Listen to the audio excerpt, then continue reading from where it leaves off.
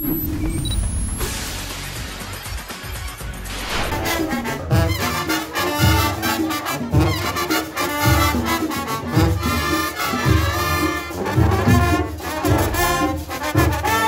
ritmo de bombos y trompetas, se prendió la fiesta por las calles de Huazapa con el tradicional desfile de correo.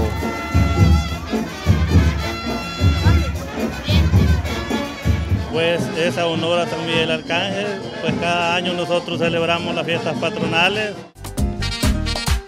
Para este derroche de alegría sacaron varios caballos del establo y entre estos un burrito.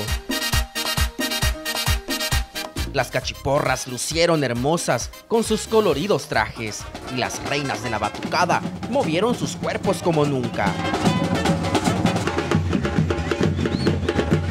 Pero el que causó sensación y asombro fue el hombre en llamas. Para mí es mi trabajo, desde que lo aprendí lo agarré con mucho amor y por eso soy conocido como Iván, el hombre flama de El Salvador. Los mitológicos hicieron de las suyas y el lobo hasta se puso a pelear con unos pitbull, pero estos ni caso le hicieron.